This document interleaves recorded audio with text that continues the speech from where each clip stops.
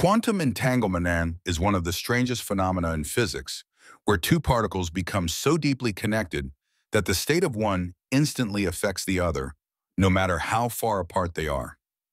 Einstein was deeply troubled by this concept, as it seemed to contradict his theory of relativity, which states that nothing, not even information, can travel faster than light.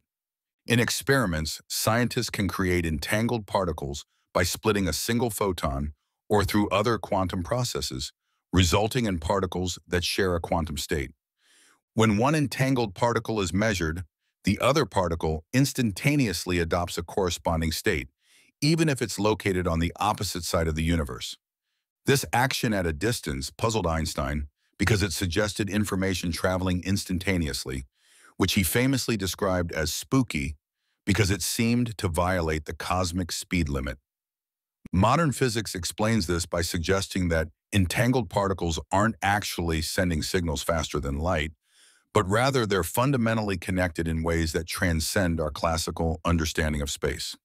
Today, scientists are harnessing quantum entanglement to develop revolutionary technologies like quantum computers, which process information in fundamentally different ways than classical computers. Quantum encryption uses entangled particles to create unhackable communication channels, since any attempt to eavesdrop would disrupt the entanglement and be immediately detected.